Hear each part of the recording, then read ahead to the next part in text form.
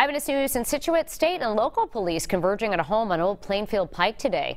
Scituate police tell us they went to the home at about 4 o'clock this morning to serve a search warrant. Our cameras captured the scene later at about 7 a.m. Scituate police telling us they arrested one man. Two other people were also detained at the scene, and they are still investigating at this noon hour.